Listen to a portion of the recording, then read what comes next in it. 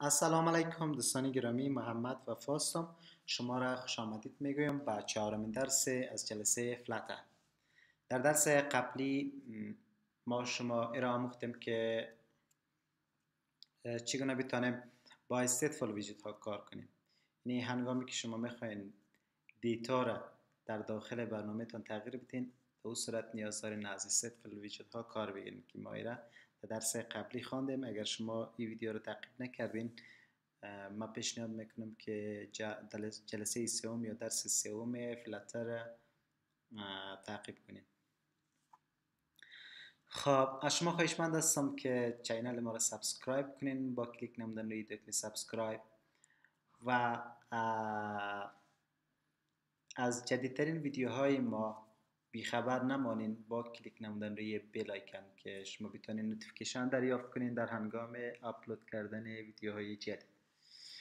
خب امروز ما می‌خوایم با tab کار کنم. ما به خاطر با tab کار کنیم. ما امروز بسیار به شکل basic یا بسیار به شکل ساده کار می‌کنم که نیاز داریم این سه بخش کار بگیریم. ما نیاز داریم یک تب کنترلر کار بگیریم که من می‌خوام از دیفالت تب کنترلر کار بگیرم. دیگه تب ویو که به خاطر نمایش دادن کانتنت یک تب استفاده میشه استفاده می‌کنیم استفاده می‌کنیم که از تب بار ویو ما می‌خوایم استفاده کنیم.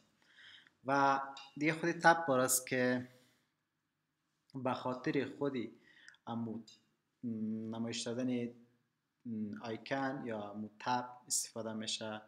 به صورت ما از tab استفاده می‌کنیم. الان ما یک simple برنامه دارم که به نام hello است.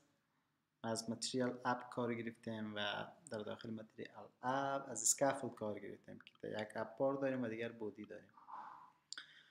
خب ما امروز title ش تغییر می‌تونم به tab demo چون می‌خوایم تب کار کنیم.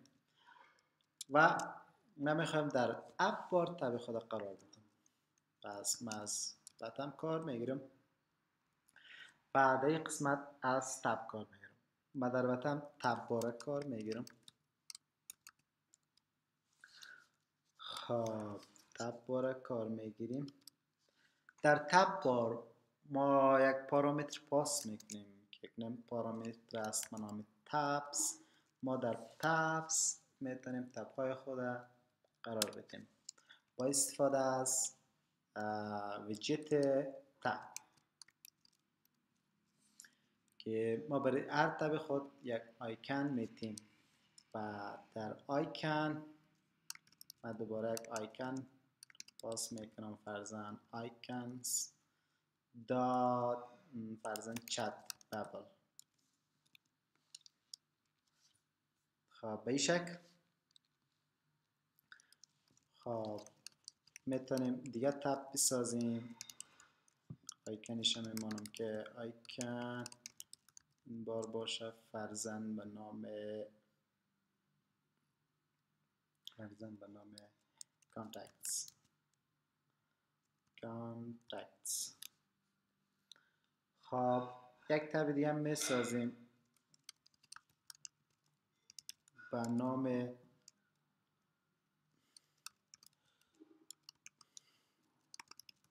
به نام هم می‌گیریم این قسمتش. و یک تب دیگه هم می‌سازیم از چهار تب کار می‌گیریم. خب این تب آیکنیشه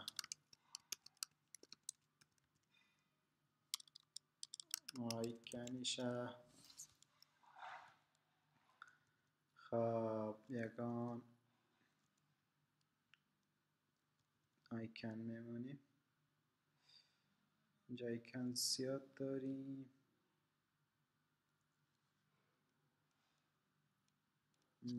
فرزن بوک. های چهار تب فعلا کلیت کردیم. فعلا ما فقط تب بار خود داریم. به این شکل. و من میایم برنامه خود رفرش می‌کنم. رن می‌کنم با استفاده از فلاتر رن.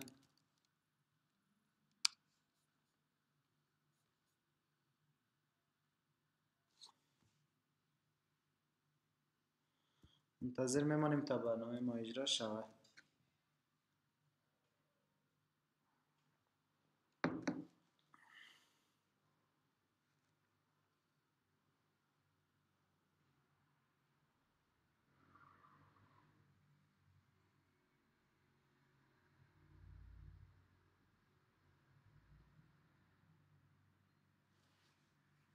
خب نو تب کنترلر فور بار میبخشین ما تب کار گرفتیم اما یاد ما رفت که تب کنترلر را ست کنیم.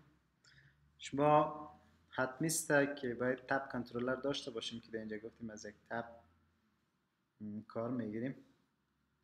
از دیفالت تب کنترلر کار می‌گیریم. پس ما در این قسمت از Scaffold خود داخل DefaultTabController میمونیم این دقیقا ما تب خود با تب بار ویو تب بار خود با تب بار ویو داخل دیفالت تب کنترلر میمونیم به شکل. خب. و length tab خود باید مشخص بسازیم که من چهار دانه tab کار می‌گیرم یه حد نیست. و با چهار اسکافولد خود میمونیم.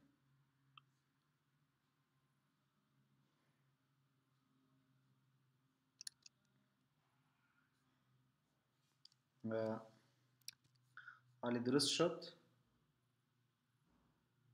ما آمده ریفرش می‌کنم خب بازم قسمی که می‌بینیم assertion line is not true خب dependence that is empty dependence is empty خب یک بار می‌بینیم که اشتباه کجا هست. خب ما یک دیفالت کنترلر ساختیم. و در داخل دیفالت کنترلر دیفالت تب کنترلر ما لنتش مشخص ساختیم. بعد از اسکافولد به حیث چایلد قرار دادیم. و در Scaffold title مشخص ساختیم. در AppBar و در bottom AppBar خود TabBar ساختیم. که هم درست است. و آه ما TabBarView را باید یعنی content هر tab خود باید مشخص بسازیم. ما به جای اینجا به جای Center از TabBarView کار می‌گیرم. به این شکل و TabBarView ما یک پارامتر به نام children پاس می‌کنیم که array از widget ها رو دارم ما به array از widget ها tab های خود content ش می‌تونیم مشخص بسازیم. و در قسمت شما یک چیزی را باید فراموش نکنیم که چون ما از دیفالت تب کنترلر کار می‌گیریم باید اوردر یکسان باشه. فرزن ما به می شکل که در قسمت داریم باید به اینجا ترتیب ترتیبش باید یکسان باشه. یعنی فرزن ما کانتنت که در اول قرار می‌گیره اون مربوط به تب اول میشه. فرزن من اینجا یک آیکن کار می‌گیرم. آیکنز دات به شکل و دیگه هم می‌تونیم به شکل بانیم و دیگه هم به شکل. و این هم به این شکل. خب سف می‌کنیم و فلوت می‌کنیم.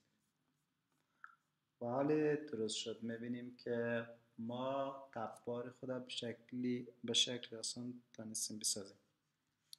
این شکل. ای بود درس چهارم و تشکر از توجهتان امیدوار هستم که تانسته باشم. امیدوار هستم که شما بتانید تپ های دلخواهتان بسازید. تا درس بعدی الان یاد